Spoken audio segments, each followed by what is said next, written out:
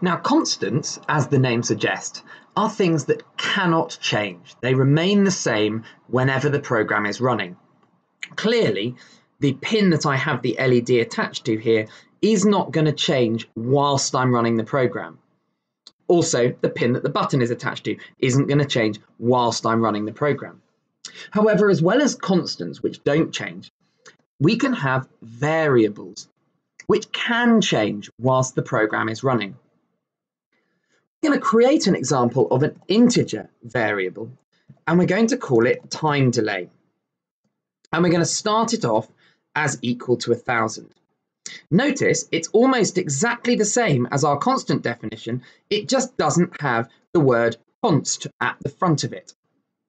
So this number, called time delay, equal to 1,000, can be changed whilst the program runs. But it starts off with a number of a 1,000 stored in it.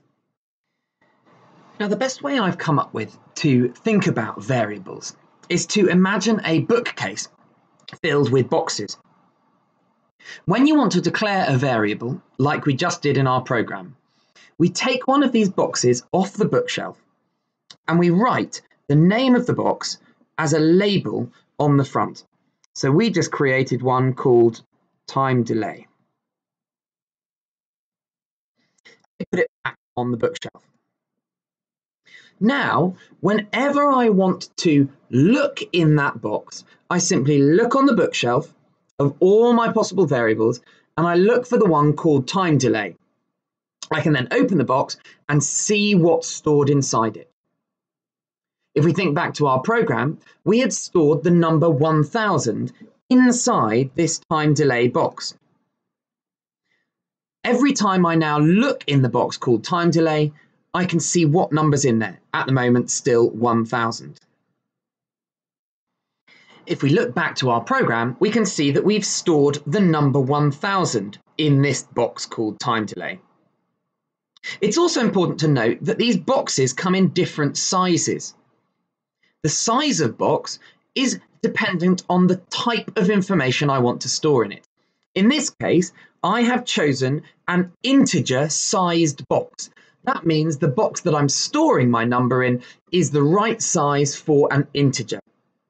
And I know that however big my integer is, as long as it's still an integer, it will fit in that box. Now let's try making use of that variable. We're going to replace our delays down here, instead of always being a delay of a thousand, we're going to replace them with delays of time delay. What that means is whenever it gets to this command, it will look in the box called time delay, find out what number is inside it, in this case 1000, and that is how many milliseconds it will delay for. Of course, what we've done so far hasn't actually changed anything about how the program will run. It will still pause for one second after turning the LED on and after turning the LED off, just like it did before. But now we're going to see why variables are really useful. To show you this properly, we're actually going to go back to the simplest version of Blink that doesn't include any references to the button pin. like that. What we're going to do here before we go back around the loop, we are going to change the value in time delay. The way we're going to do that is using this command here.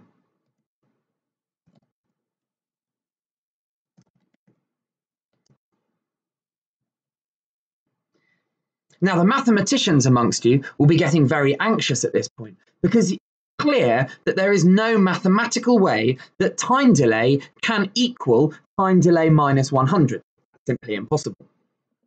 That's not what this little symbol here means in this case. It doesn't mean it equals, it means assign it to be. Assign it to be. So what that means is assign the new value in our box called time delay to become equal to the old value of the box in time delay minus 100. Now, the old value in the box time delay at the moment is the value we started with, 1000. So if we take that value of 1000, subtract 100 from it, we get 900, and we store that number 900 back in the box time delay. So we've taken the number out of the box, taken 100 away from it, and put that new number back in the box. So now time delay equals 900. So that when it goes back around the loop here and turns the LED on again, it will only turn it on for 900 milliseconds, not a whole second. Then it'll turn it off for 900 milliseconds. And then it'll do this again. So it will take the 900 milliseconds, minus 100 from it to get 800 milliseconds, put 800 back in the box, time delay, and loop round again, delaying for 800 milliseconds each time. What I'd like you to do now is upload this program to your Arduino and see what happens when you run it. After a little while, you might notice something a bit odd. If you can figure out what that is, fantastic. If not, come back to the next video and I'll explain what's going on.